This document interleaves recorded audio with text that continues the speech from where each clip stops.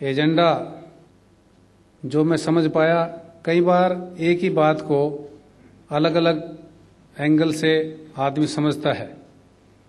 जैसे यहाँ ये पीछे लिखा है मिसकंसेप्शंस एंड क्लैरिफिकेशंस इस्लाम के बारे में। तो मैंने किसी और दृष्टिकोण से उसको समझा था, जबकि मैं आया तो यहाँ जो हमारे शायद डॉक्टर जाकिर साहब बोल रहे थे, नायक साहब वो कुछ बातों को स्पष्ट कर रहे थे। तो जो हमारी अपनी अपनी ज़रूरतें हैं, हमारी जो अपनी स्टेज है, उसके मुताबिक ही किसी बात को डिफाइन किया जाता है। मैं कह गया, और जैसे ये पीछे बातें लिखी थी, मेरे पास जो कार्ड आया मिसकंसेप्शंस तो पता नहीं, मुझे कुछ झटका सा लगा। मैंने कहा, इस्लाम? और इस्लाम के बारे में मिसकंसेप्शन किसको? कौन है जिसको मिसकंसेप्शन है इस्लाम के बारे में मैं जानना चाहता हूँ। और क्लैरिफिकेशन, इस्लाम, इतना बड़ा धर्म, इतना बड़ा झंडा, वो क्लैरिफिकेशन देगा, किसके सामने देगा? कौन सी अदालत है जो उसका क्लैरिफिकेशन लेना चाहती है? कौन माई का लाल है जो उसकी देशभक्ति पर उंगली उठाना चाहता है? कौन माई का लाल है जो उसके धर्म के सिद्धांतों पर शक करता है? कोई अदालत लगा के पूछना चाहता है, कोई वारंट जारी करना चाहता है, कौन है दुनिया के अंदर ऐसा अज्ञानी व्यक्ति जो ये जानना चाहता है कि इस्लाम आए और हाजिर हो और हमें बताया कि तुम्हारे अंदर ये कमी है, ये कमी है, ये गलती है, वो गलती है। तो जो मैंने समझा, मैंने कह दिया। तो मुझे नहीं पता किस प्रकरण में मैंने समझा और किस प्रकरण में मैंने कह दिया। तो मुझे बड़ा कड़वा सा लगा, जो मुझे कार्ड लेके दोनों साथी आए, मुझे इनके ऊपर गुस्सा आया। अरे मैं ये क्यों छपवा दिया? क्या बात? कोई अपराध की वृत्ति है? कोई डर रहे हैं किसी से? किससे डर रहे हैं? क्या हमारे ऊपर कोई आरोप पत्र चार्जशीट जारी की है किसी ने?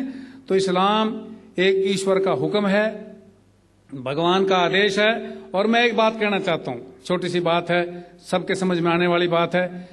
जब आदमी बीमार होता है, और उसको डॉक्टर के पास ले जा रहे होते हैं, और डॉक्टर उसकी तकलीफ़ दूर करना चाहता है तो क्या डॉक्टर का धर्म, क्या डॉक्टर की जाति या गोद पूछते हैं?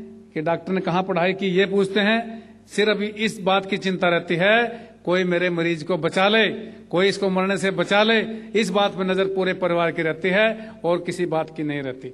और आज इस दुनिया को बचाने के लिए इस्लाम ने बहुत बड़ा रोल किया है। आज बहुत बड़ा रोल इसके सामने है। बहुत बड़ी चुनौती का जवाब इस्लाम को आगे बढ़कर देना पड़ेगा।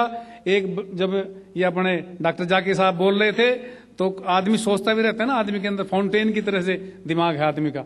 तो जब मेरे ये कह रहे थे कि भाई, अमेरिका में घटिया सी बात है वैसे, पर घटिया को बढ़िया तरीके से कहना चाहता हूँ कि अमेरिका में 2000 पता नहीं, हम इतनी देर से बैठे हैं, इतने में इतने रेप हो गए होंगे। इन्होंने एक बात कही तो ये तो खैर एक बड़ी एक बीमारी है, आदमी की कमज़ोरी है, आदमी की गिरावट है, रेप करना। एक इंसान का महापशुता नीचता का कार्य है। पशु को कहना, पशु को अपमान करना है। उसको कुत्ता कहेंगे तो कुत्ता ऐतराज उठा देगा, ये ऐसा क्यों कह दिया? तो मैं ये कहना चाहता हूँ, वैसे मेरे मन में आई, भाई ये तो आपने सोच लिया कि अमेरिका में इतने रेप होते हैं। क्या आपने कोई ऐसा देश देखा जो देश दूसरे देशों का रेप करता है? अमेरिका अपने आप में एक रेप का प्रतीक है। इराक के अंदर क्या कर दिया? और क्या कहना चाहता है? आज अमेरिका की नज़र में तमाम दुनिया के लोग हैं अपने आप को थानदार समझ करके, किसी की भी गर्दन मुर्गे की तरह पकड़ के कहना चाहता है, इसमें ये गलती। भाई, मैं तो जानता नहीं, मैंने बेचारे को देखा नहीं कभी, सद्दाम हुसैन को।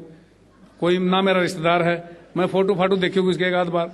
पर मैं पूछना था तो मेरे दिल में बड़ा दर्द उठता है, अरे तुमने कहा उसके पास रासायनिक हथियार हैं, उसके पास इस्लामिक बम है, उसके पास पता नहीं क्या है, क्या नहीं है, उसके पास जादू टोना है, और उसको पकड़ के कैद कर लिया? अरे तो किसी के बारे में कह दो। ये तो कह दो मनमोहन सिंह के पास रासायनिक हथियार है। कल मनमोहन सिंह को पकड़ लो। कल मुशर्रफ को पकड़ लो। लंका वाली बेचारी वो कुमार तुंगे है। उसको कह दो, ये भी जादूगरणी है। इसको पकड़ लो। तो ये सारी दुनिया के लोगों को, और एक बात हमारे शंकराचार्य महाराज ने कही कि सबको, ये जो जो भाषा समझता हो, उसको कुरान शरीफ दी जानी चाहिए। और मैं कहना चाहता हूँ आपको कि पकड़ लो गर्दन बुश की, उसको रटवाओ पहले तो कुरान शरीफ।